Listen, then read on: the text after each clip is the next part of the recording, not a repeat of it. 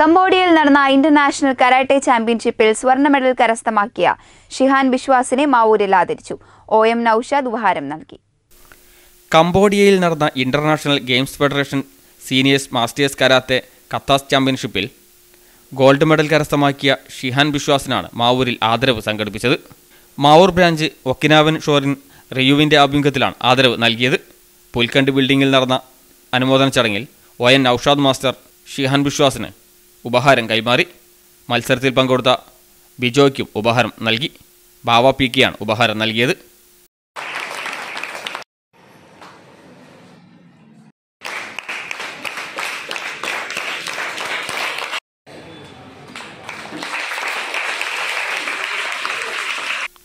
ചടങ്ങിൽ ഇൻസ്ട്രക്ടർ ബാബുരാജൻ അധ്യക്ഷനായി.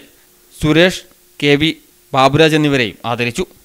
വയനാട് സുൽത്താൻ ബത്തേരിയിൽ നടന്ന കരാട്ട ചാമ്പ്യൻഷിപ്പിൽ ബ്ലാക്ക് ബെൽറ്റ് നേടിയ വിദ്യാർത്ഥികൾക്കും മെമന്റോ നൽകി. അനുശ്രീ പ്രശാന്ത് പരിപാടി നിയന്ത്രിച്ചു. രാജ്കുമാർ അനീഷ് മുരളി ഷിഹാബ് രാജേഷ് സതീഷ് തുടങ്ങിയവർ സംസാരിച്ചു. തുടർന്ന് കുട്ടികളുടെ അഭ്യാസ പ്രകടനവും അരങ്ങേറി.